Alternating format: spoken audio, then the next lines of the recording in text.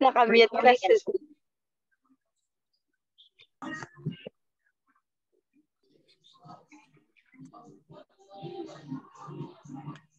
Good wow. evening, everyone. Happy birthday, Jasmine. Good evening po. Kasama na po po. Good po. Ang aga mag... Good evening, Pastor Jeff. Good evening. Ikaw yun. Good evening po. Sir Jasmine. Good evening, Pastor. Hindi. Ikaw. Hello? Good evening po. Good evening, Joshua. Tita Bing, good evening. Anastasia family, good evening. Good evening po.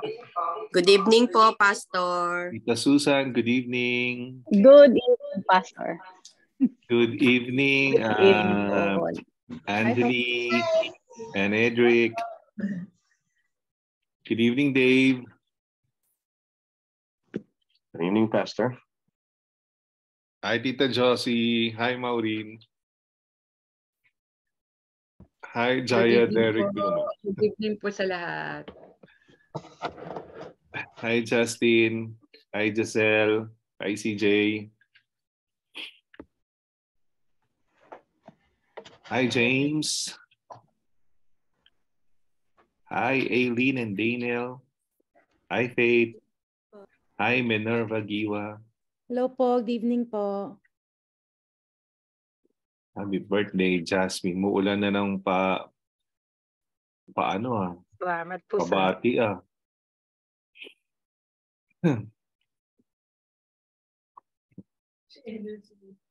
Cedric. Idri. si Jasmine, ano, papatusok-tusok daw yan sa linggo. Wow. papatusok. Papabox. Papabaksin kayo lahat.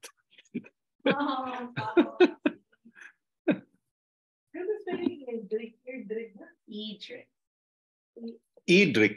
E-A-D-R. I-C-K. I-D-R-I. C-K. C. Spell your name, Papa. C-K ba? Di ata. K lang, walang C. K. Oh, sorry. No C, no C. Ah? My bad, my bad. Here. Idri. Idri. Wala R? No E. All right.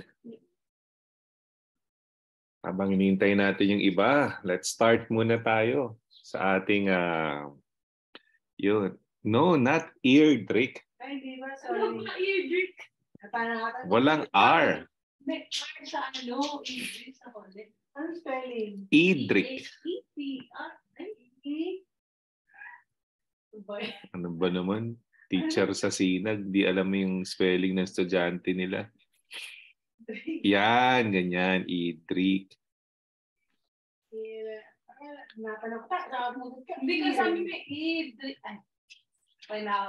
Good evening, Darren. Good evening, Rose. Good evening po. Good evening, Pastor Bert.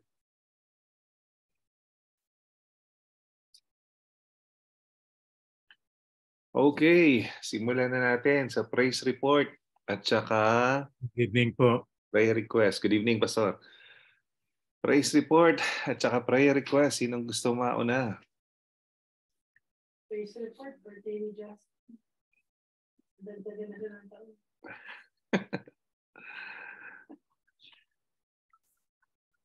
Ah, Praise report po. Praise report kay Jan or prayer request.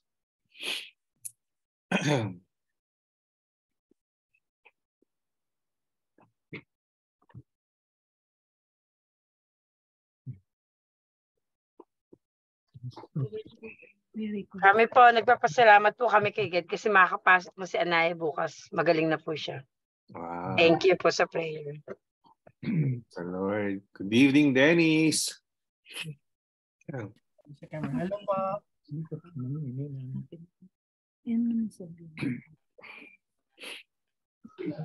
I have a praise report po. Go ahead po.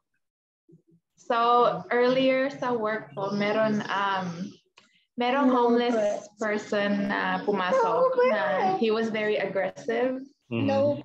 um no. and he was screaming and just being very very not violent but almost getting there Mhm.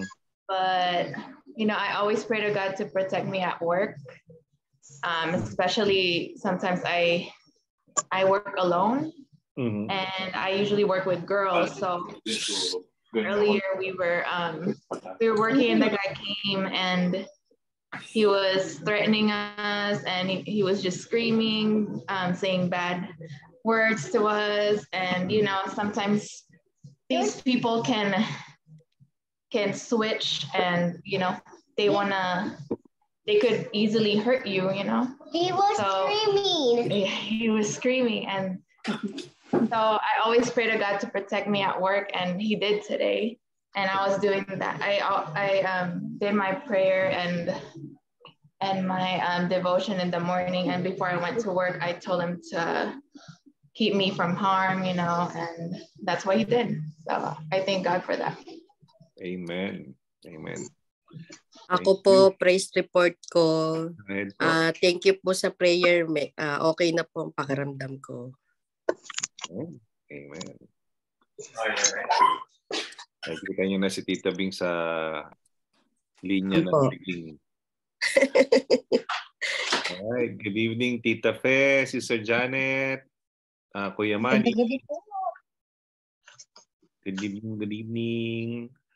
Hi, Sister Tina. Good evening. Pastor Bong, good evening. Jairus, good evening. Good evening sa inyo lahat. Praise report kay Jan.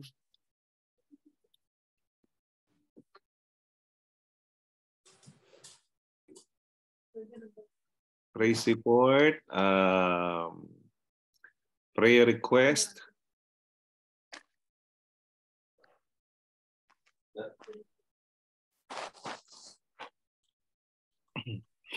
Praise report, prayer request, praise report, prayer request.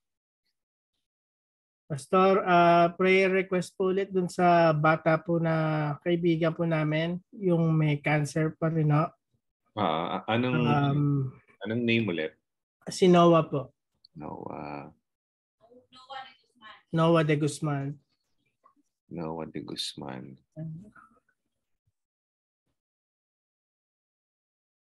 Saan ang cancer niya? Anong cancer niya? An- ha? Anong cancer niya? Bone cancer po. He's only uh, Nine. nine years old. I was about to say eight. Ah, bata naman niya. Oo, kawawa nga. Nasa Amerika to? Apo, nasa Children's Hospital. Oh, nasa Children's Hospital. Okay, prayer for the surgery of Pastor Bert tomorrow. Uh, praise report lang po, konti lang. Go ahead. Nung the other day, oh, I was at the store complaining about the prices of the eggs. Oh, Pag uwi ko kapo, may natanggap ako mail na may pinadala para sa school ni Sophia. oo. Uh, it's a EB, EBT for school. Have to pay. So, for food. So, have to pay for food. nakakareklamo ko po sa presyo na itlog. Nagkaroon ng tuloy si Sophia ng food uh, food card.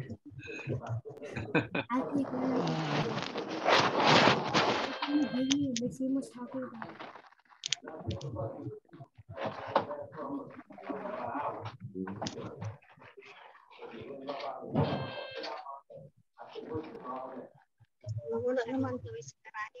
Thank you, Brother Dennis. Uh, praise report. Request.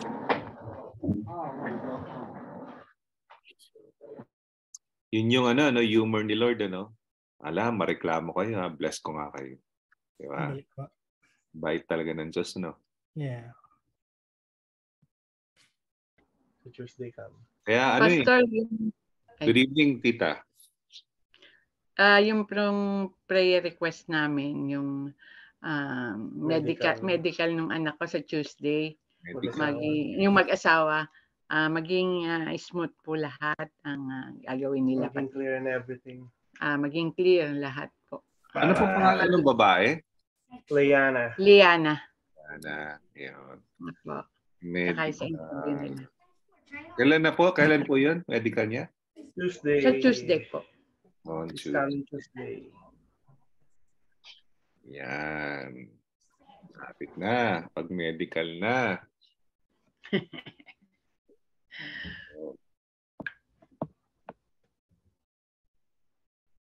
Okay, I thank God for letting baby Naomi sleep early today so I can attend our Zoom meeting today. Yan, so yun yung kanyang praise report.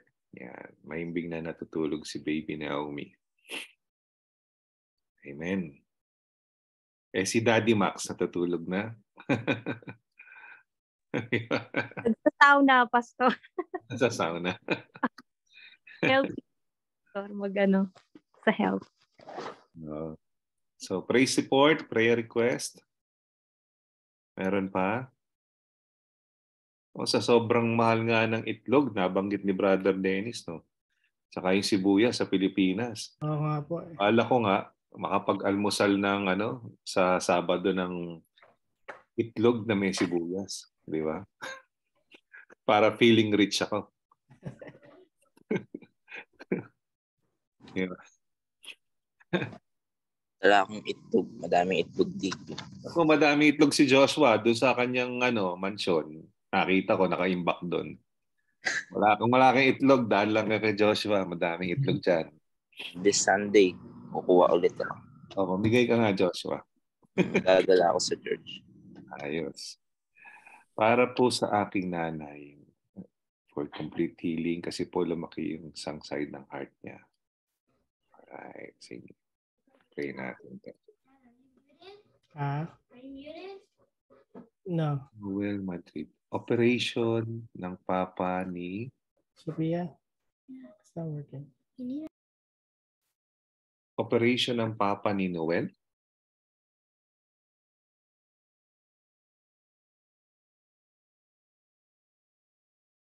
Tama ba to? Ah, opo, Pastor, sa ano yata, sa Vietnam doon yun i-ano yung operation. Opo, Viet, nasa Vietnam ba siya? Oo, pupunta po. Opo. Oh. Doon Ah. siya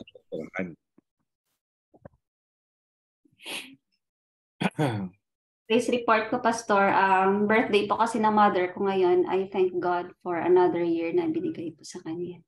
Amen. Happy birthday. Happy birthday, Mommy. Asan sa sa Bacolod? Ah, sa Iloilo. Ah, Bacolod po. Bacolod. Alright, praise report, prayer request. Praise report, prayer request. Good evening, Pastor Rave. Analu, Noel Madrid, good evening. Good Good evening, evening. Pastor. Good evening, good evening. Pastor Jeff. Good evening. Good evening, Tita Fe. Good evening, Pastor. Any more prayer requests and uh, praise report?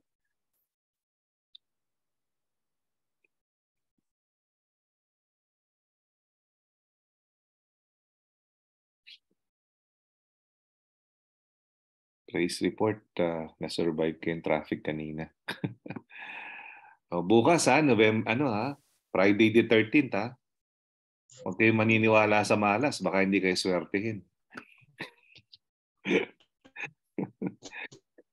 hindi hindi tayo naniniwala sa malas ha. hindi rin tayo naniniwala sa swerte. We believe only in blessings. Right? Hi Daniel. Never I see you, I I I am being reminded uh, of Daniel's fast. But uh, Daniel Ruiz fast is taco and coke. Al Pastor and coke. All right, meron tayo dito. Uh, prayer request. I lift up my work tomorrow and the following days to come. I pray for strength and a good attitude towards work despite the heavy. Okay.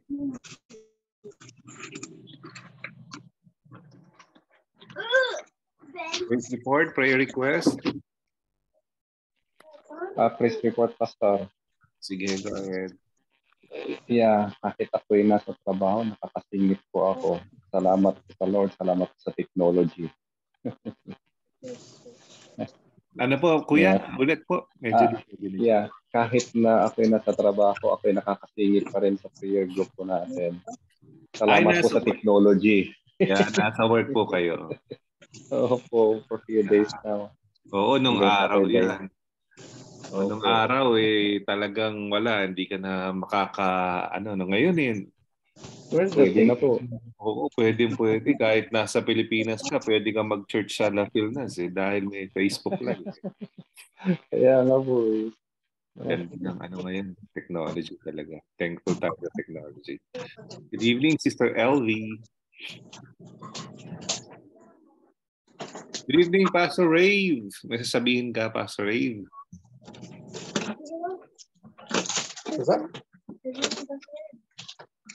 All right, meron pa ba? Good evening. Good evening, Pastor. Praise support, meron pa? Uh, prayer request, meron pa? So anyway, uh, for your prayer request, now if you are being prompted by the Holy Spirit to uh, to to pray and for anything or for uh, anybody, just pray uh, mamaya sa ating uh, popcorn prayer where you can pray whatever you want to pray for. All right, so we will go now with our uh, devotion. Okay, so last Monday our topic was forgiveness. Tuesday, anxiety. Last night, uh, Lions Den. Tonight our topic would be uh, ano yun? Uh, ano ba yun? Ko tuloy. Watch your Watch your mouth. watch your mouth. Oh, no, sa Tagalog, no, hugasan daw ang bibig. Ah, wash your mouth pala yan. so, watch your mouth. Di ba? Madalas natin naririnig yan eh. Sa nanay natin. Oy, ting, ano yun? Tingnan-tingnan mo yung bibig mo. Parang ganun, di ba? Lagi naririnig natin. Alright. So, Let's start with our devotion. Good evening. Welcome to your 2023 prayer and fasting Zoom gathering. Uh, we're done with praise support and prayer requests. If ever there's any pray, praise support or prayer requests pa mamaya, just uh, uh, unmute yourself, okay? So for now, mag-mute muna tayo lahat and let's start, no? Uh, let's start with our devotion. Nakiki-add na lang po sa mga ating co-host uh, sa ating pagbubulay-bulay salita ng Diyos. Um, reflecting on the Word of God. So we'll talk about tonight about watch your mouth. No, watch your mouth. What do you mean by this? Watch your mouth is a phrase my siblings and I heard frequently from our parents during our developmental years, no? So madalas nating marinig sa magulang natin, oy, tingnan-tingnan mo yung bibig mo, no? Uh, isweto mo or kaya isarado mo yung bibig mo, di ba? Watch your mouth, no? Watch your mouth was used as a reminder for my siblings and I to stay within the communication boundaries of discipline, respect, honesty, and positivity no, established by our parents, no, sabi ng writer. I can only recall the phrase being used when we mm-hmm. went contrary to our parents' directives or if our words went against God's commands. Similar to a parent reminding a child to evaluate their words, God informs his children the power of their words and the importance of choosing words wisely.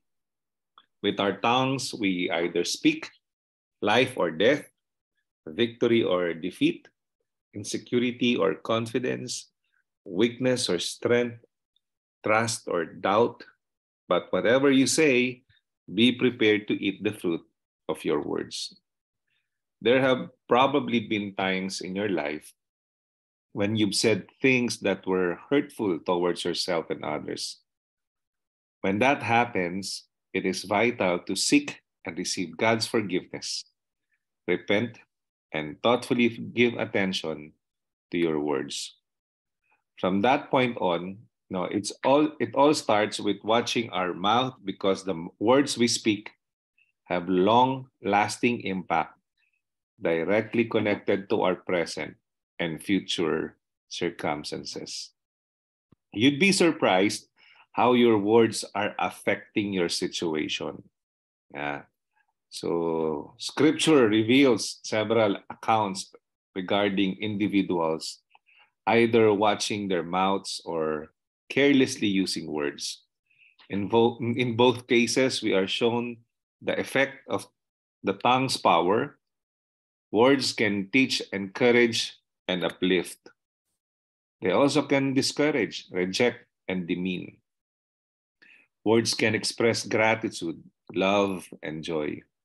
They also can express selfishness, hate, and despondency. Our aim is to speak what God says about our situations and not what our inconsistent emotions want, want us to declare. No matter what is going on in your life today, it's time to watch your mouth. Don't get distracted by the trial or the mirage that nothing will change. Begin declaring God's word. This is a work in progress that requires discipline, trust, and faith. But once you begin to get in the rhythm of using your words wisely in thanksgiving and praise to God, when the wrong words try to come out, you will be able to take action and bounce back to God's word. Speak life and watch your mouth. Sabi sa Proverbs 18:21, death and life are in the power of the tongue, and those who love it will eat will eat its fruit. Matthew 12:36 I tell you that on the day of judgment people will have to account for every careless word they speak. Wow, watch your mouth. Mukhang magandang usapin. Mhm. Ang tanong, no? Ah, may pagkakataon ba sa buhay mo na nasabihan ka ng Panginoon na watch your mouth? Di ba? Pag uh, tingnan-tingnan mo ang mga sinasabi, no? whatever uh, you are releasing and uh, whatever you're uttering you know, from your lips, it's either can make or break a person. Anybody who wants to share? Any volunteer?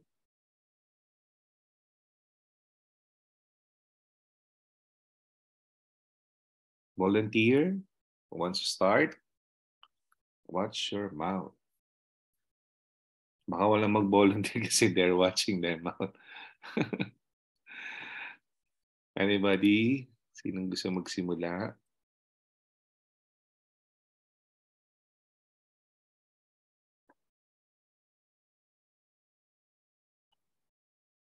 Nag-raise pa ng kamay, hindi ko makita. Hirap pala pagka sobrang dami nasa, nasa screen mo. Parang uh, nagbabadya yung Anastasio, gusto nilang mauna. Basta yung mga ganyang forma, nakangiti silang dalawa. Alamang sila mauna niyan eh. Ayun, Pastor. Ah, sige. Ano lang, Pastor, pagka, ano, uh, pagka kunwari, um, sa mag-asawa, nag-argue kami, parang, parang ano, parang ginagay kami ni Lord na, oh, ano, wag magsalita ng masasakit na sobrang sakit na salita kasi it, it can ano nga can um, really hurt a person. Baga minsan mas masakit pa yung lumalabas sa bibig kaysa yung physical na pananakit eh. Pero ayun po in, sa amin, ano, talagang careful kami sa words. Basta, pagka may argument, kung ano lang yung topic, yun lang, dun lang mag-stick. Tapos, break muna ng sandali and then mag-ayos before, ano, before bedtime, kailangan magkaayos kami. So, lagi pong ganun. Tsaka di ba, Pastor, minsan kapag yung may, ano ba, may nasabi kang, hindi naman worse. Mag-sorry Pero may ka. nasabi ka, parang kin, inaano ka ni God na mag-sorry ka. Yung kasalanan mo. apologize. Kaya nag-sorry po. Yeah. Ako nagsasorry po ako kahit kasalanan. That's the Holy Spirit eh, no? uh, prompting you na, hey, do not say that. Or, uh, actually, this kind of uh, problem is, um, doubly hard for those people who became a born-again Christian na who came from a family. Kasi there are families na very used to uh, uh, uttering hurtful words. No, just like with uh, from the family that I came from. No, whenever whenever they see you, uh, for example, Christmas, birthday, reunion, or whatever, uh, it's kind of normal for my relatives to tell you something na hurtful. That's the way of their greeting. That's the way of they welcoming you, di ba? Uh, for example, hey, how are you? Long time no see. Oh, you gain weight. You almost double your weight today. Di ba? Hey, how are you? Good to see you. It's been a year that I never seen you. So, uh, you don't have a boyfriend yet? You're 40 years old na? Something like that. Or for, uh, uh, I, I noticed for uh, in our Kapampangan, Bulacan side, they always, uh, before they say a sentence, there's a curse word in the middle of the sentence, there's a curse word. And after at the end of the sentence, there's a curse word. No, so and somehow uh, when we have visitors who are not really uh, used to that kind of ano, so they get offended. No, but for us, it's nothing because it became like a part of it. It was normalized. No, but biblically, it is not good. No, so that's why when you enter into a relationship, you get married, uh, you form your own family, then there will be adjustments really, No? because uh, usually you you uh, the two of you came from different culture, different family culture, different tradition, different perspective. So you get to uh, clash now sometimes. No. How about the others?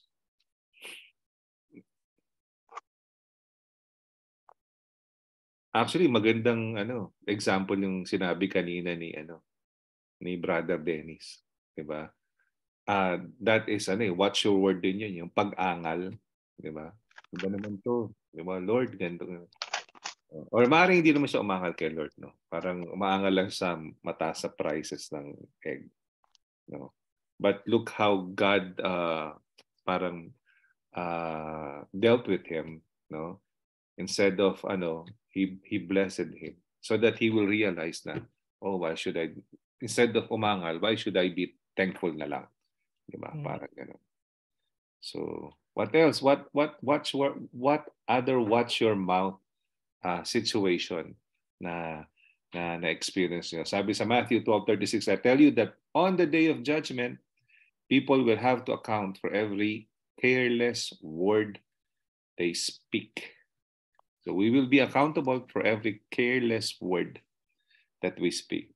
And uh, as I, uh, as far as I, uh, I recall, I have a lot of careless words that I spoke. No. Sobrang competitive. Eh, Pastor, yung si Aldrin, Pastor dati, pa naglalaro ng basketball yan. Hmm. Sinasabihan niya ng weak yung, kala, yung kakampi niya. Yeah, that's uh, Pag nagkamali.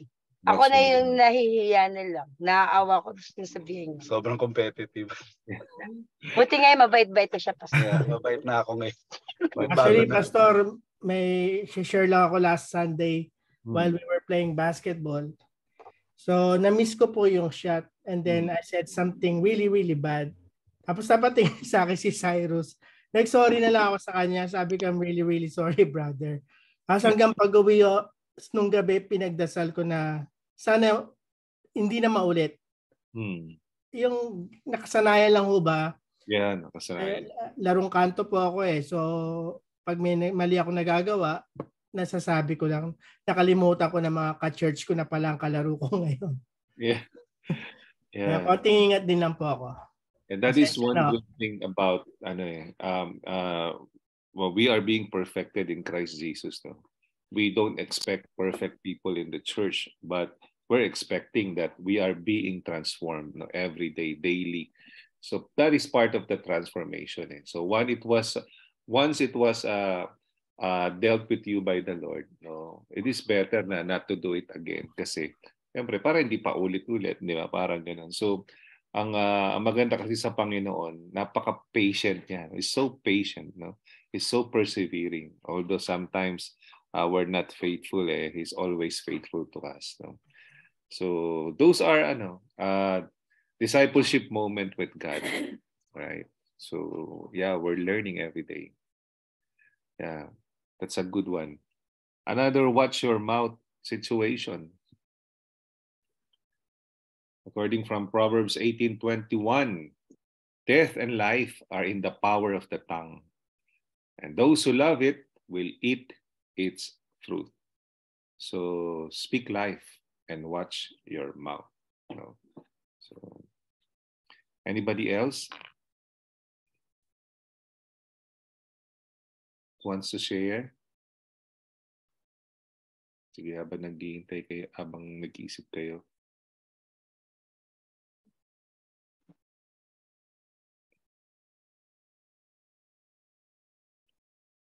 Sabi dito, they can discourage, reject, and demean. Words can express gratitude, love, and joy. Uh, they can also express selfishness, hate, and despondency. So, ibig sabihin, uh, it's either you make or break.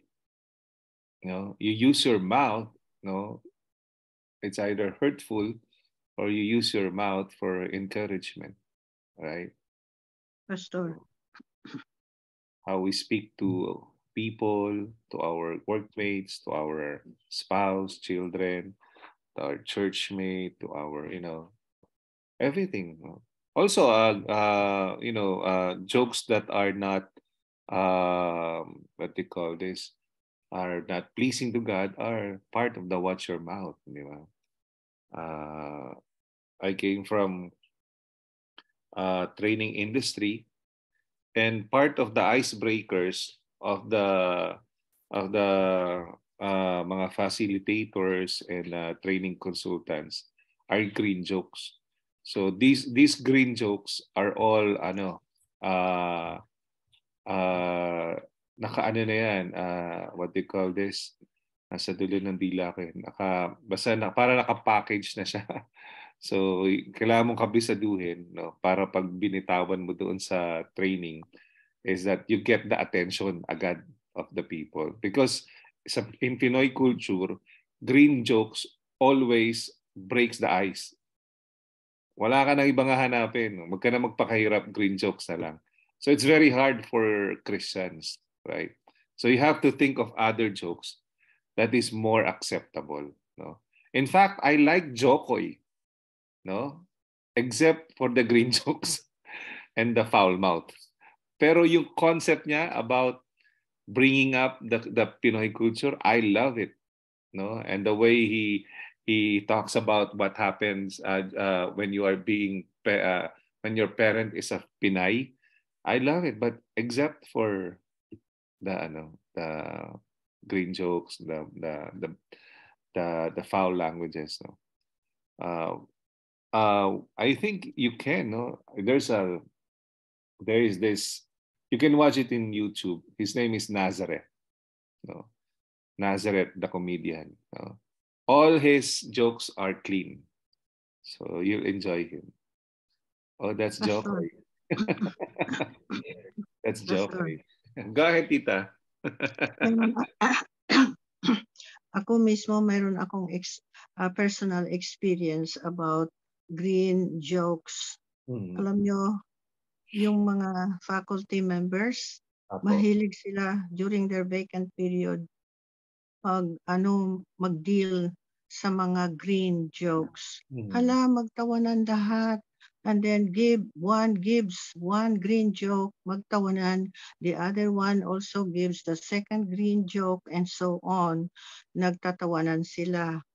Tapos nagkataon halimbawa, nandyan ako sa ano nila sa lounging ro- room, naririnig ko yung kanilang mga green jokes. Sometimes mapapatawa din ako kasi nakakatawa din naman. Pero alam ko na ayaw ng Diyos yon. Kahit na yung tumawa lang ako, pastor, ganyan, mayroon talagang ah ga, gaga, mayroong, mayroong uh, consequence yan sa akin. Mm. God will express, God will express His, uh, yung parang contempt Mm. on me participating kahit na pala nandyan ako sa presence nila halimbawa siyempre hindi ko maiwasan nandyan ako sa room na yan during the vacant period halimbawa eh maiwasan ko ba din yung tainga ko na hindi marinig yung mga sinasabi nila pastor.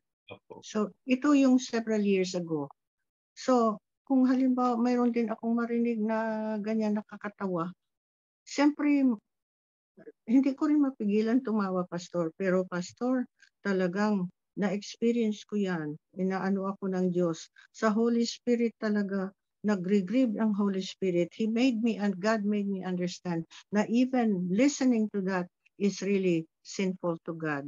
So, iniiwasan ko yan, Pastor, kasi na-experience ko talaga either, either He will make you uh, know na hindi maganda yun, hindi siya happy noon, or uh, he will let something happen that makes you realize na he was grieved.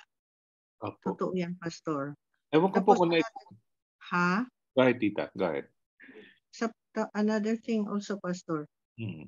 When I was a teen, from the time I was a teenager, Opo. hanggang na, dumating na ako sa sa high school hanggang nag-graduate ako, meron akong na-observe ng mga mga mag-asawa na hindi naman lahat pastor, pero may na-observe lang ako na kung mag-aaway sila, pati mga pinggan, ihahagis yung mga kaldero, yung mga ganyan, tapos salitang hindi maganda, tapos hindi mo makita sila pastor na mag-progress talaga. Mhm. So, in the Word of God, it also says na yung mag-asawa na hindi sila united, hindi sila in good understanding, ganyan. Um, hindi natatanggap ng Diyos ang prayers. Mhm. So, alam ko, this is a ve- very good topic, Pastor. And we learn from the experience of one another. Apo, Thank you, tita, Pastor. nabanggit niyo po yung sa green jokes na yung yung ewan ko kung na-experience yun, no, yung- sa ating lahat. Na-experience yun na hindi ka naman nag-agree. Min- Hmm. minsan, minsan, ngumingiti ka na lang kasi ayaw mo ma-offend yung nag-joke.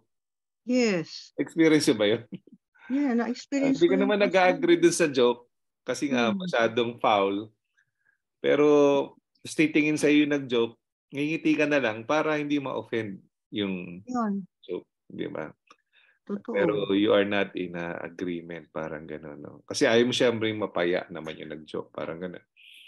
No? Kasi uh, na sometimes naman, eh, wala pa sila sa, kailangan mo rin intindihin, wala pa rin naman sila sa ganun pang uh, maturity. No? So sinasabi natin, green jokes, sinasabi natin, uh, we're talking about uh, uh, couples who are, you know, uh, doing verbal abuses, no. Actually, yun, watch, watch your mouth. It's part of the verbal abuse, no, na when you say things na you don't, sometimes you say na, oh, I'm sorry, honey, I don't mean it. Di ba?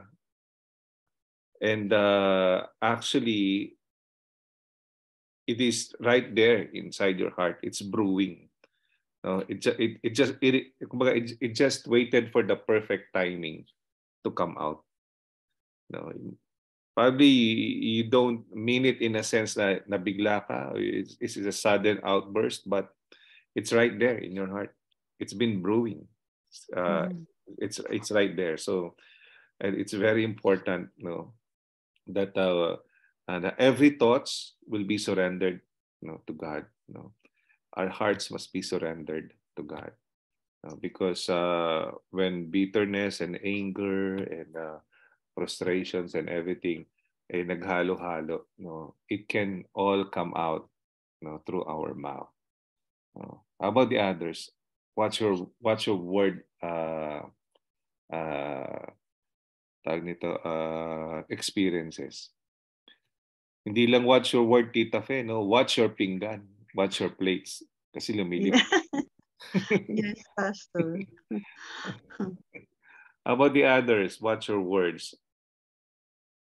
How about uh, yung example na, naku, maring ano, maring Aileen, ang laki-laki na ng anak mo. Bata pa lang, pag-ipunan mo na ng pampiyansa yan. yung mga mga joke na gano'n, di ba? Those are Pinoy jokes, right? I've heard that joke po from my mom. okay. Ay, o kaya, ay, babae ang anak mo. Pang ano yan, ang tawag doon, pambayad utang mo. Oo. oo. Di ba? Those are those are jokes. Those are Pinoy jokes, but that but those are watch your words. Because Yes. Because whatever comes out from your mouth, na sabi nga, with our tongues, we either speak life or death, Mhm. victory or defeat, insecurity or confidence, weakness or strength, trust or doubt. Whatever you say, be prepared to eat the fruit of your words. Right? Sometimes we, we find it ano eh, uh, sometimes we find it po na parang harmless but it's it is actually harmful uh, for, for Pinoy culture uh, for for Daniel and Eder uh, we have this Pinoy culture that whenever we see a kid we will tell the parent that oh is that your son? Oh you better uh, earn a lot of money so that someday you will have money to get him out of the jail you know Oh, those those are those are meant for uh you know for kidding or a joke but those are those are powerful words Mhm. those are self-fulfilling prophecy in psychology Prophecy, right. Well, I would say that that in our culture is pretty similar to Pretty similar? Uh-huh. pretty similar, yeah. Like in a sense where like, you know, for example, me, you know, like I was uh, very like overweight a few years ago, and uh, I had like a lot of uh, family members who would always, you know, kind of go out of their way to point out how big I was, you know. And although you learn to laugh like with them, you know, in the back of your head or when they're gone, of course, is uh, pretty hurtful, and it uh, makes you like kind of think about it, and it doesn't feel good, you know. And it and it comes down, to, you know, to all kinds of things, like not just your weight, your your appearance, but what you do in life. You know, for a long time, uh, people thought that I was gonna be like nothing, that I was gonna end up in the streets, I was gonna end up in gang culture, and you know, as I got older, my my life changed, and you know, I I uh, I uh, got a career for myself, you know, and you know, now that I look back at it, if I would have listened to those people, then I would have never been where I'm at now, you know. So it's pretty similar, I would say. That's the key word. If you listen to those people, then they will be able to direct you to the direction you don't want to go. Right? It's better to listen to the word of God. It's better to listen to the to listen to the Holy Spirit. No, so that the Holy Spirit can direct your life no, to the future that He intended you to be. Right? because words are powerful. Yeah, I remember when I was growing up, I really remember uh, words being uttered to me. Uh, you know, you'll you'll never go. Uh, you you'll you'll go nowhere. You know, you're.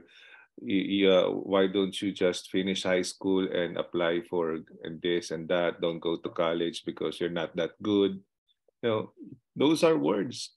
You know, even when I became a, a, a professional or even I became a clergy, you know, I still continue to receive words that are not encouraging, you know, uh, and people will tell you now you will not make it, you know, and you will, you, you you're you're not qualified, or you you're not you won't be able to do it. Or, So those are words that are powerful.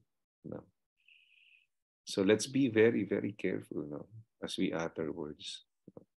As much as possible, more of words that can build up a person. You must have a self-censorship. Eh. Pero I don't know if you will agree with me, as you grow old, right? Probably it comes with the age. You you you you you lessen your your ano your your mga watch your words na lumalabas, right? As you grow old, napansin niyo ba yan? Yung sa mga medyo nagkakaedad na medyo nababawasan yung dati kasi minsan lalabas na lang bigla sa bibig natin. All of a sudden no we will just utter words that is uh, that is so hurtful. But eventually no as you grow old medyo kind of minimize no. But uh, as you grow old plus sana if you are in tune with the holy spirit and then you'll be more ano you'll be a better person no. Kasi you are being guided How about the others? Uh, example, any uh, other uh, experience? How about uh, yung uh, sa school, there is there is always this one classmate of yours that you always laugh about. Right? And we say things that uh, are not nice to that person. Have you experienced that? No. The entire the entire classroom gang up on this one kid, and then we all laughed about. We, we all laughed at that person. No. So have you experienced that? No. Or even in the workplace, there's always a worker. No, you call you call that person the missing link. I uh, no, no, the weakest link. No, uh, he always makes mistakes, or you know, he or she will always uh, will be the laughing stock in the workplace and then we all laugh at that person. And then we say things that uh, oh that person uh, probably when uh, he he was born he was born uh, only with six months no something like that no? Sa Tagalog hirap Inglesin eh. Kulang sa buwan siguro yan nung pinanganak di ba? Parang ganun. So di ba madaming madami tayong minsan sinasabi na nakakasakit, di natin alam. Yeah. Ako pa, Go ahead po. Pastor Jeff. Ako, pastor sa work, two days ago po, like my coworker said something na parang disrespectful about the patient. Hmm. And then, nag-smile po ako, like parang nag-giggle, ganun po. Biglang talaga po sabi ng Lord, don't do that. Sabi, inano talaga sa stop, don't do that. Tapos sabi oh my God, sabi ko, oh, mali yung ginawa ko. So, um, yun po ang ano ko po, um, um, parang uh, challenging sa work kasi po talagang sometimes patients are very challenging. Talaga po, parang sakit na po sa ulo, I could say.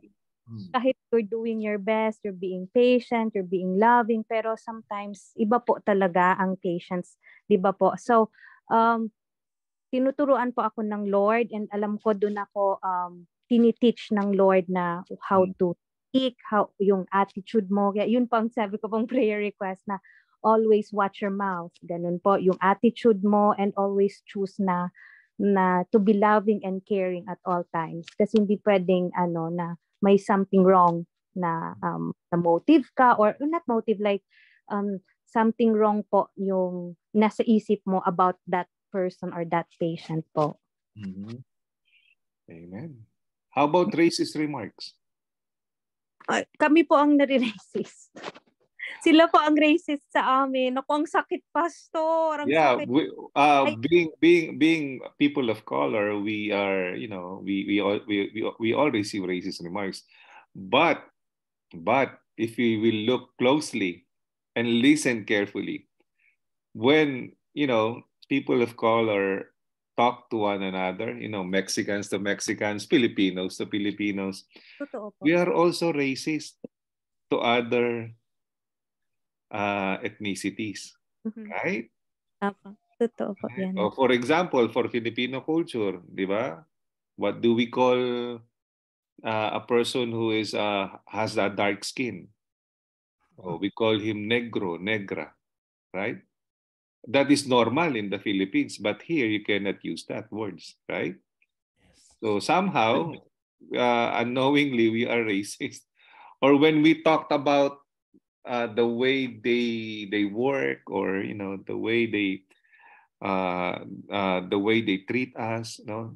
For example, they are the one who was who was being racist on us, but in a way, we retaliate by also being racist to them. Have you experienced that? Right? How about uh, what's your word in a sense of songs, lyrics, right? Uh, and then, what do you call this? What what are the songs? Bring that over here, over here, maybe bring that over here, over here, right? How about yung uh, oh, Nicki Minaj. ano ba naman ito, di ba? Nagmukha akong tanga, di ba? Those are what's your words, right? May may may song pa pre, ah, pastor. Apo. Yung sa Ilocano song. Apo. Yung parang pangalan Ilukat mo man. Very immoral song yan, pastor. Manang biday, ilukat mo man. Yes, that's an immoral song. Why is it immoral, tita? I don't know. Because, Because it, it, it's a figure of speech. Okay. Of something bad, you know. oh, okay. Yeah. But it is being sung in the ano, in the school, elementary school, Yes, being yes, danced by the children. the teachers do not know the real meaning of that. It's a figure of speech. Oh. Manang biday, ilukat mo man yung bintana, yung ano na yon, yung organ na yon. Oh, okay, okay. It's a Oo, double oo. meaning. Yeah, figure of speech yan. Pangit yan ang awit. Oh, yeah, yeah. Wow, I, I, I They, didn't they know don't that. know. The teachers do not know the real meaning of that. That's why eh, tinuturo sa mga bata. Pero ganun ang kahulugan noon, Pastor. Mhm. Sinabi ko rin kay Pastor Norbert yan eh. Mhm. Wow. Ah, at saka Pastor, maalaala ko, may mga parents na pangit magsalita sa mga anak nila. Nagkasala lang ng konti. Ang bigat-bigat na ng mga salita. Stupid ka. Mhm. Ah, walang hiya ka. Yung mga ganon ba, Pastor? Mhm. Oh, Alam niyo, tita, ganyan din ako kasi akala ko normal lang yun. Kasi Mm. ganun din yung pagpapalaki sa akin. Mm. So, ang tendency is that I I did, I, I just do what I experienced. Parang ganun. Mhm. It was a transference, no? But Ah. eventually, you realize na it, it, it, it, ano, it, it is wrong. Yeah, it is wrong. Mm. Yeah. One, one good thing is we all committed mistakes. No, what is Mhm. important is that we are humble enough to accept that we committed that mistake. No, and move on and never and never do it again. So that's repentance. Mm. Because whatever we're talking about tonight, we all experience it. We all we we are all guilty about it, right? Probably how many times we were our attention were called by God to watch our word. Right? Not even not even ano, I don't know if you experience this, experience this, yung not even uh, you utter the words. You just thought of the word. And then the Lord said, Don't think about that. Have you experienced that? Spontaneous. Spontaneous na, right? Right? Na nainis ka doon sa, ano, nainis ka, tapos sinabi mo sa isipan mo, not through words, but just through your mind. Mamatay ka na sana. And then the, the Lord will tell you, oh, watch your word. That's powerful, right? Katawa. That's powerful. Oh, how many of us are, are are guilty of that? We always curse in our mind. We always wish death to other people using our mind. Right? Or somebody cut you off, you're driving, and then in your mind, you didn't utter it because you, you, you, you, you have this conviction I don't want to say things that is bad because I want to watch my word. But you are uttering it through your mind. No, you're telling that person, "Oh, I hope that you you'll meet an accident along the way. No, so that is also watching your word, right? The Lord is telling you, don't do that. What else? Anything else? Madami palang watch your words. Ako po, Pastor. Go ahead po. Um, I think the phrase watch your mouth also applies to gossiping, you know, talking about other people behind their backs. Because first of all, the, that person is, you know, uh, not there to defend themselves. Mm, Whether it's true or not, kung ano po yung sinasabi natin about that person. And I'm I'm guilty of it too. Kasi sometimes it just, I ano, parang naging normal na po to talk about other people. Mm, mm. But yeah, it's like j- God just tells me sometimes to, you know, I catch myself na, you know, talking about other people. So, Mm. sabi ni God na, stop yourself. Mm. Yung Yeah. po. Yeah, you're uh, also you're making assumptions about other people. So Yeah, yeah. I'm just, i know I'm just, I'm just being keen to what the Holy Spirit is telling us right now. No, uh, the Holy Spirit is telling me that why don't I say to everybody or suggest or you know recommend to everyone that we create a culture in La Filnas that whenever we start something that we are you know starting to talk about other people. No why don't we uh, say right away let's watch our mouths right? So it's it will be a reminder for us to stop and then smile about it because nobody's perfect right? Even i will will be part of that sometimes. I mean sometimes you you, ano, you forget it. You forget it eh, unless the holy spirit will remind you and then oh oh that was wrong. Oh, i uh, what i did was wrong. Yeah. Yeah. Anything else? Watch your mouth? Watch your words?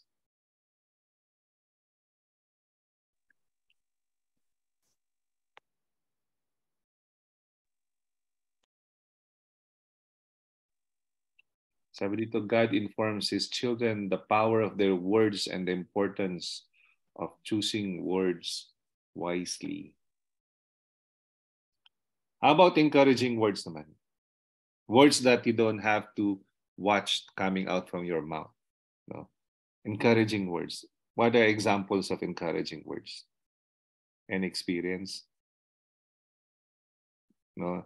A good Christian, at least, at least in a day, you were able to utter encouraging word to one person through uttering it using your lips or maybe texting it or calling or messaging. Meron ba kayong ganun? Na at least one one person a day.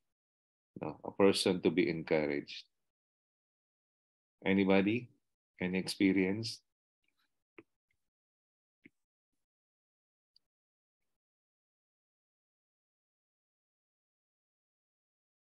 Anyone na you were able to encourage? Even your children, right? Encouraging your children. Or how about your spouse? Oh. Yeah. Go for Zumba daily, honey. No, you're losing weight. Ah, those are encouraging words. Uh, not uh, watch your mouth like, oh, you're you're doing Zumba anyway. You will eat later a lot. You'll gain weight anyway. Those are discouraging words. so, Nagsumba ka pa. Nag-zumba ka pa. Sinayang mo lang yung pawis mo. yung mga ganong banat, ano? Yun, yun pa pala, word na sarcasm. Yeah, that's true.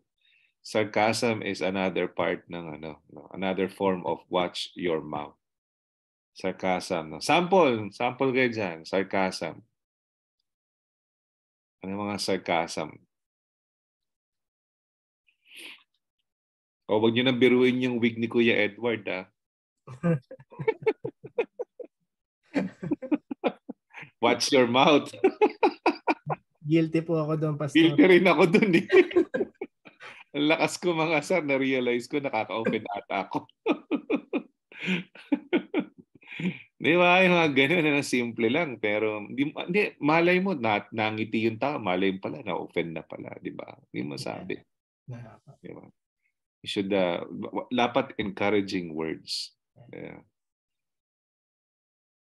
Encouraging words ang lalabas lang sa bibig natin. Yeah. How do you say encouraging words to your spouse? Masarap po yung luto. Yan, masarap yung luto. No, Kaso sabi mo, ang sarap ng sinigang mo, tinola pala yung niluto. Imbis na encouraging, naging ma- watch your mouth. Sasabi ka na sa mo, watch your mouth ha, tinola yan, hindi sinigang yan. So, magsinungaling ka. oh, what are the encouraging words na you, you can tell your spouse or children or or churchmate or workmate? ng asawa ko. Naps! what are your encouraging words? Ako, Pastor uh, Jeff, pag um, nasa work ko ako, tapos naiiwan si baby na Naomi kay Maxim, like I always thank Maxim na how, or, and then te- I, I tell him po na how he's doing a good job on how he takes good care of, of kasi diba po minsan yung husband hindi sila ma- ano sa baby yung naiiwanan sa baby. Pero po si Maxim talaga pong kasi nung una po nung pregnant pa po ako si Maxim hindi hindi ma, hindi maasahan talaga kahit yung family niya po Hmm. alam na hindi marunong magluto, hindi marunong mag-alaga, hindi marunong mag-diaper, mag-change ng diaper. Pero po talagang nag-exceed siya sa talagang yung love, yung care niya sa kay baby na yun. Talaga pong nakita namin lahat tapos proud na proud po sa kanya yung yung parents niya po sa kanya. Lalo na po ako kasi naiiwanan ko po talaga na hindi ka nababother po or nagwo-worry. Talagang from bathing to everything. So, thank God po for that. So, lagi ko po siyang um, tinit na um, sinasabing good job or thank you sa mga ginagawa niya po. Yeah.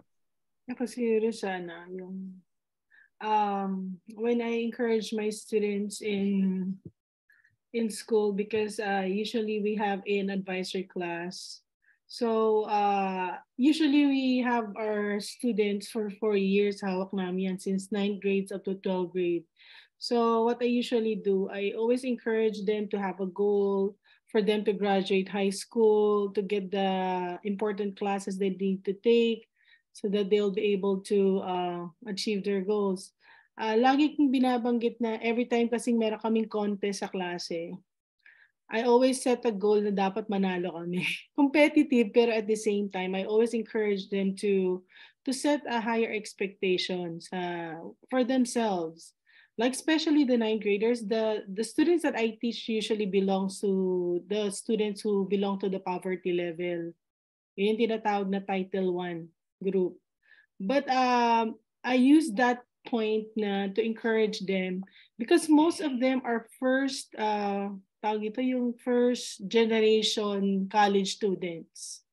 I always tell them that you can graduate high school, you can graduate college, you can be part of this uh ano you can go to UCLA and I believe there's always power in words and I I've seen a lot of students who rose from talagang uh, tawag to, low self-esteem. Mhm. Tapos pag nakita mo, gagraduate na sila sa high school. Tapos nakakapunta sila, they go to a very prestigious, uh, prestigious, uh, what do you call this, uh, university. I have a student with autism. Uh, when he was ninth grade, like he hardly looks at us up at, at, at a person, but right now he is actually uh, going to CSUN. Na, na natanggap matang, na, na, matatanggap siya sa CSUN. So and uh, tapos nag 4.0 plus pa yung kanyang GPA. So yun yung fulfillment mo na being a teacher when you see these kids um, empowered at the same time they're growing talaga. And I believe na ako, I, I also handle special ed kids. Uh, I always tell them na don't ano, don't believe other people what they tell you.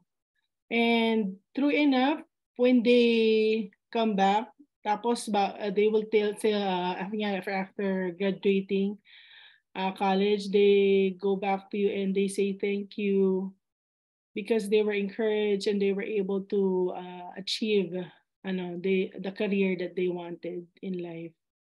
And uh, it is all because of the glory of God. Lahat ng bagay na to, it is because of the glory of God. And the, uh, the strength and the energy that you have every day uh, to encourage them. So I praise the Lord for that. Amen. Amen. Anybody else? Watch your mouth. encourage mo po, Pastor, uh, sa amin po with our kids, um, when they have um, a reward sa school, we make sure na to treat them out, di ba? Celebrate. And then, not just our kids, pati po yung sa discipleship with Justin. Every time we uh, we practice, pag may maganda po yung ano yung aming um, praise and worship, there's something na napun akong magandang nagawa niya, I make sure na to tell him that, oh, you did a good job with this. You're you're getting better playing the guitar and singing at the same time. You're really improving. I make sure na na to take, make notice and remind na to give all the glory to God. Yeah, in ministry, yeah, it's very important. Because we are, ano, eh, we are powered by volunteers, uh, not paid people, and uh, it's very easy to mobilize uh, workforce in a corporate setup. Because if they don't follow, you just threaten them that they will not have a salary or they will be uh, laid off. No, but in ministry, you cannot do that, di ba? So you, you everything is uh, uh, based on trust and everything is based on uh, motivation, no, and encouragement. No, so you encourage them that they're doing it for God, not uh, for anybody else. No, that they are serving the Lord. No, and uh, and uh, give them feedback that they are improving and everything. So uh, in ministry, uh, what your word is very important. No, it's either um, you see you don't follow a leader who who's a nagger or who's a you know who's uh, breathing on your neck or who's a who's a person uh, over controlling and telling you what to do and not to do every minute of it and uh, you know shouting at you every time na nagkakamali ka you know so we don't follow that kind of leader no. We follow a leader who will encourage us no? who will who will bring out the best uh, uh, of uh, uh,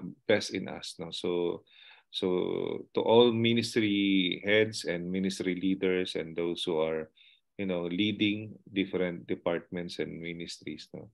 Uh thank you for being a good example and uh, and uh encouraging you know, your teammates no kasi we don't call them subordinates we call them teammates because uh, nobody's being paid so we don't call them subordinates we call them teammates.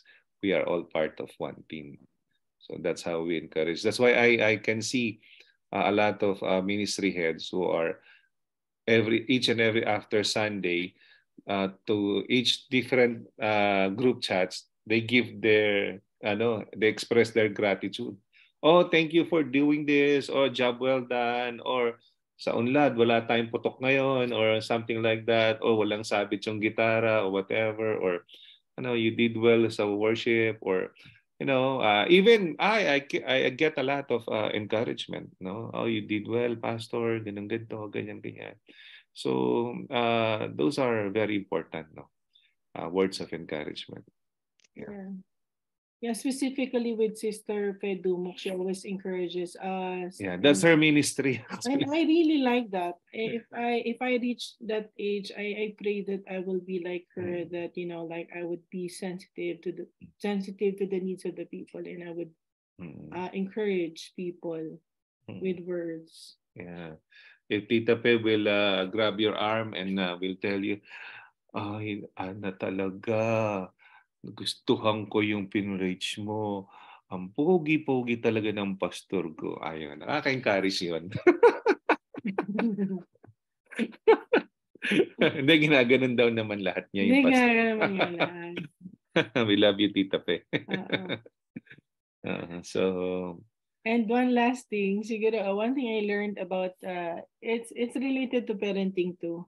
Kasi when I was maaga kasi ako nag-asawa, kami nag-asawa, ah, 21 ba, 23. 22. So, uh, there's a lot of struggles sa parenting pero like on the, sa una kong anak ang goal is to train Cled to be excellent sa aka- academic, ganyan si Job, ganun din. Pero when I heard the preaching about uh, how to train your your kids and how to to mold them in the likeness of God, what I learned is from Peter Cha- Tanchi, sabi niya, na instead na pinupuri mo lang yung bata, yung anak mo because of their academic achievement, you praise them because of the good works that they're doing. mm, So, for my third child, si Brielle, I did not push her so much to do academic excellence. Kahit na nakakuha siya dati nung grade 1 siya, na hindi talaga naman siya nagka-top 1, nagka-top 2, it's okay. But I always praise her for doing good works, to be being kind to her classmates, to be being so helpful sa mga teachers niya.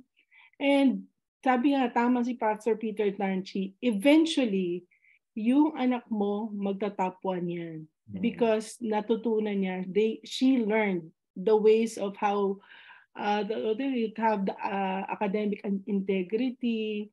And yun nga, si Brielle this year, uh, sabi niya, sabi niya sa akin dati, nung grade 5 siya, Naku ma'am, lagi naman ako meron isang B, sabi niya gano'n, sabi niya. But I tell her, sabi ko, hindi, you can achieve it. So this year, all straight A siya. So I praise the Lord kasi it's not, what's important is not the, not the grades, but the attitude of the heart. So, praise the Lord for Pastor Peter Tanchi kasi pinreach niya yung ano na yun. So, I mean, sa parenting, there are different ways how to handle, handle our kids. But I praise the Lord I, at I was able to uh, correct yung mistakes ko for my parenting sa last child ko. Sana So- all sabi ni Ni Cled. so yung first child mo is a mistake. Hindi Ay, naman. hindi, hindi. Training, What trial and error for the what- first child. Watch your, watch your mouth. Watch your mouth and watch your marbles. okay, sige. Ah, meron pa ba or manalangin na tayo? Sige, magsimula na tayo manalangin. Alright. Uh, let's close our eyes and bow our heads. Let's start to pray. Heavenly Father, Lord God, Lord, we lift up to you uh, everything, Lord God, that uh, we talked about. Lord, we pray as a church, as you prompting us, Lord, you're prompting us to create a culture that uh, to remind each and everyone to watch our mouth. Lord, we pray na whatever is pleasing only to your ear, to your eyes, that is what we're going to do as a Christian, as a believer. We lift you up, Lord God. We praise you. We adore you, Lord God. We thank you on our fourth day of prayer and fasting. We just want to uh, give you all the glory, Lord God. We come this far because of you, uh, because of your teachings, and because of your encouragement to us. Even, even you, Lord God, you are a God of encouragement. We never heard of any bad words or any curse or anything or any anything that uh, will hurt us, Lord God, but all encouragement, Lord. Thank you, Lord God, uh, uh, for all the things that we receive, continue to receive, and we are about to receive. Lord, we uh, confess our sins as you uh, as you dealt us tonight to watch our words, wa- watch our mouths. Lord God, we pray that uh, may our tongue be tamed, Lord God, and whatever we say, we will be uh, we will think of it a hundred times before we utter it, Lord God, and consult you, Lord, and uh, may it be an encouragement only to the listeners, Lord God. Lord, we pray to you the following supplication, Lord God. Uh, we lift up to you uh, the mom of uh, Sister Olen, Panginoon, si Mami Tess Sugay, uh, uh, si meron po siyang broken ribs um, because uh, from an accident, Lord God. We pray for healing, Lord God, complete healing, Lord God. In Jesus' mighty name, Lord. We lift, uh, Lord God, uh, we, we are lifting up to you yung work ni Christina tomorrow, Panginoon, uh, at saka mga susunod pang mga araw that you give her strength, Lord God, at uh, magandang attitude sa kanyang trabaho. And may she be a good uh, testimony, Lord God, a salt and light sa patients, Lord God, at sa mga doctors and nurses and everybody else in the hospital. In Jesus' name. Lord, we lift up to you ang tatay ni Brother Noel Madrid, Panginoon, na mag-undergo ng operation, Lord God. We pray na, na maging successful ito, na makabalik siya sa dati niyang ginagawa, uh, that he will be healed completely and you will use this situation for you to reveal yourself, Lord God. Lord God, uh, we pray, Lord God, also sa mami ni Tita Bing, si Tita Leonila Villaflor, Lord God. Uh, we pray for complete healing, Lord God. Uh, uh, yung isang side ng heart niya, Lord God, medyo enlarged, Panginoon. Uh, we pray na isang medication na tinatake niya, Panginoon, ay mahil ito, Panginoon. As you touch her tonight, Lord God, your hand is not short. You're touching her tonight, Lord God. We speak of healing as a church, as a family. In Jesus' name. Amen. Lord, we lift up to you Jorel and Liana na magme-medical na on Tuesday na everything will be smooth, Lord God, a provision para sa payment nila. Uh, wala silang makita na anything na kailangan pa nilang bumalik, ma-forward agad nila sa US Embassy at makarating sila dito na matiwasay, Panginoon. In Jesus' name, Amen. We lift up to you, Angeli, Lord God, uh, for continuous protection sa workplace niya. Uh, malayo siya sa mga any hostile person or while she's driving, Lord God, you protect her. You give her steady hands, Lord, and uh, uh, uh, uh, watchful eyes, Lord God. And I pray na uh, you protect everyone in her family also, Lord God. In Jesus' name, amen. Lord, we lift up to you, Pastor Bert. May surgery siya bukas Yes, sir. na maging uh, successful. Bigyan mo ng wisdom ang lahat ng doktor. Uh, ikaw po ang mag-ingat sa kanya at uh, uh, matapos agad yung surgery at uh, maging okay po siya agad, Panginoon. At uh, maging uh, uh, gumaling po agad yung um, surgery, Panginoon. Bukas, Panginoon. Lord, we pray for uh, Noah, Gus- Noah de Guzman, Panginoon. Uh, meron po siyang bone cancer. Nine years old lamang siya, Lord. Bata pa po siya. We, we pray na tanggalin niyo po yung pain. We pray, Lord God, na i-heal niyo agad yung cancer, Lord God. I-restore niyo lang lahat, Panginoon, sa bago yung kanyang uh, uh, buto, Panginoon. And we pray, Lord God, that he will enjoy yung kanyang childhood, Panginoon. At uh, he will grow up as a fine uh, young Christian man, Lord God.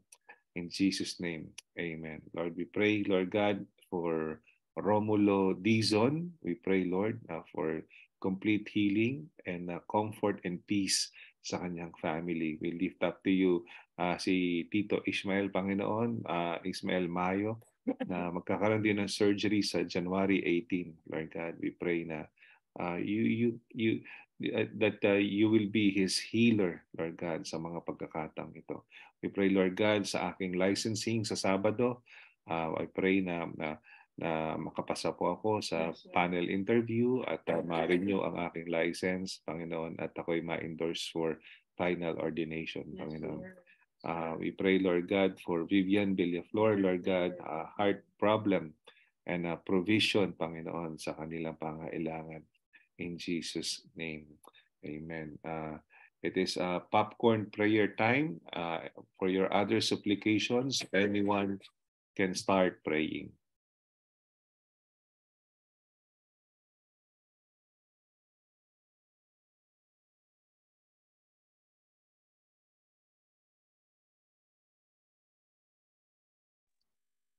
Um, Lord, I just want to lift up to you um, ang mga mag-asawa po, um, mga husbands and wives. I pray, Lord God, na um, may times na may mga disagreements po kami, but I pray na kayo po ang mag-bind together sa mga husband and wives. And I pray, Lord God, na thus, despite of the miscommunication and mga disagreements po, I pray na um, na we, we would choose love and then to watch our words, oh God. I pray, oh God, na itouch mo po ang aming mga minds, ang aming hearts na to, to do good to our spouses, to speak love, and to um to forgive all, um all the time oh God and I just pray oh God na naging good examples po kami sa aming mga children sa sa sa family po so Lord I just pray na kayo po lang ang manguna sa mga families po namin um you know and especially po sa mga husbands because they are the one that leads the family so Lord I pray for wisdom and just to and love po sa sa bawat isa. In Jesus name we pray. Amen. Lord, we pray for protection sa lalo naman sa mga incident, Panginoon, sa simbahan namin na nananakawan, na isnatchan, Panginoon, or naagawan, Panginoon. We pray for protection for everyone. Wherever they go, Lord God, send your angels, Lord God, to protect them, Lord. And we pray that uh, you put a stop on this kind of incident, Lord God, uh, lalo sa community namin, Panginoon. We just pray for uh, your the covering of your blood uh, for our protection, safety, and security. In Jesus' name, amen.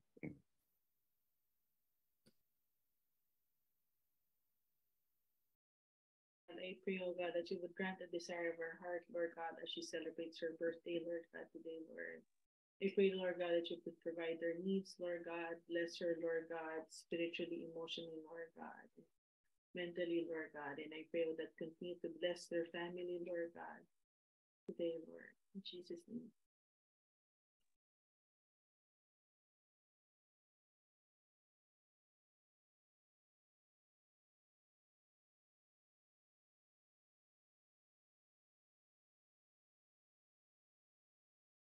That prayer is for Sister Jasmine's birthday.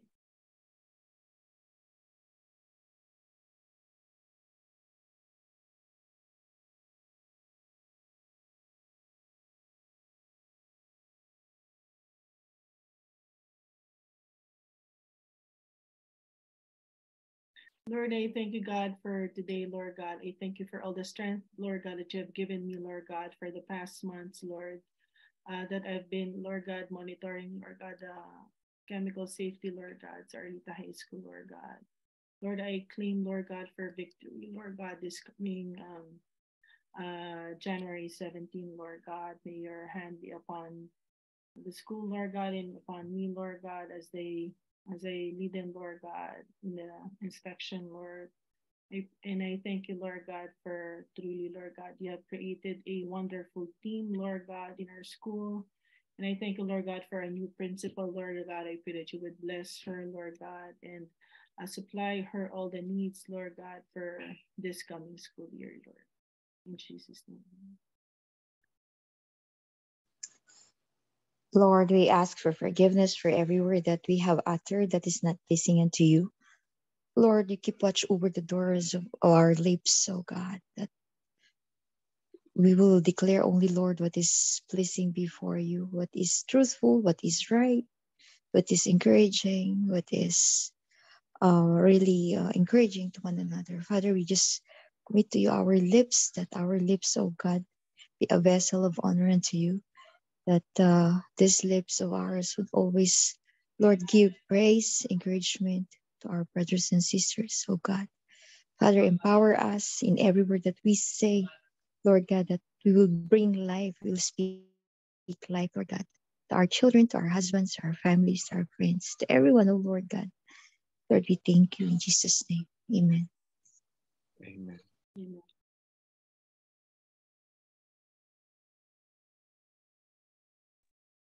Dear Heavenly Father, thank you for all the blessings and answered prayers that we received and um, will be receiving. Uh, Lord, I lift up to you all the students and teachers and all the school staff, um, especially our senior kids, school teachers, and school nurses and staff. May you always protect them and keep them away from um, potential threats and evil deeds. You are their light, um, salvation, and fortress, protecting them from danger. We rebuke um, every spirit of fear, intimidation, especially murder, theft, violence, mm, bullying, and perversion in these learning spaces, Lord. We declare a safe school environment for um, everyone, Lord. Let everyone child fulfill their um, God given purpose, and that safety and protection will be um, the heartbeat of every um, educational premise. Release them to you and you watch over them. In Jesus' name we pray. Amen. Amen. Amen. Thank you, Lord.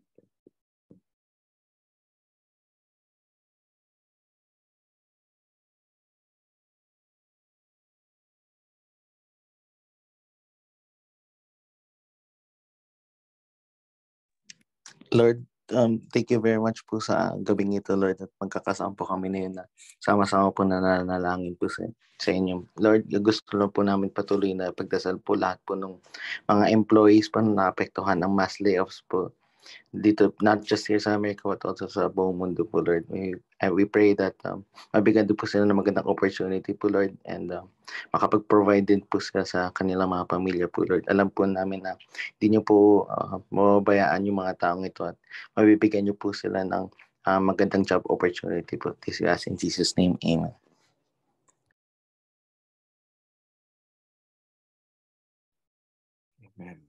Lord, I, I thank you, Lord God, for the quick uh, progress, Lord God, for Ricky, Lord, uh, sa kanyang brain surgery, Lord God. I thank you, Lord God, for he has started, Lord God, to feed himself, Lord God. I pray, Lord God, na patuloy po, Lord, na na pagalingin siya, Lord God, that he will be able to move, Lord God, every parts of his body, Lord God.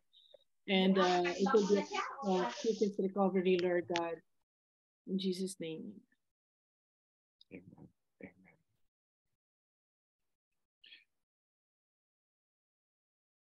Lord, we surrender to you everything. Lord, we uh, we are accepting, Lord God, your rebuke to us. Lord, uh, we pray that uh, you help us as we uh, as we as you tell us to watch our mouth, Lord God.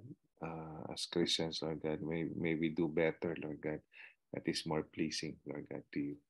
Lord, uh, allow me to uh, give the benediction, your benediction for your people tonight, Lord God. The, the Lord bless you and keep you.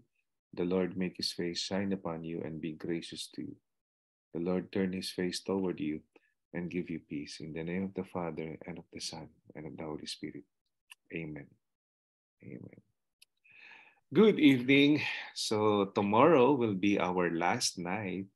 So be excited at uh, malapit na naman tayong magkita-kita. Buksan nyo na rin mga bintana. Dalawang shots ulit dahil uh, dalawang frame tayo.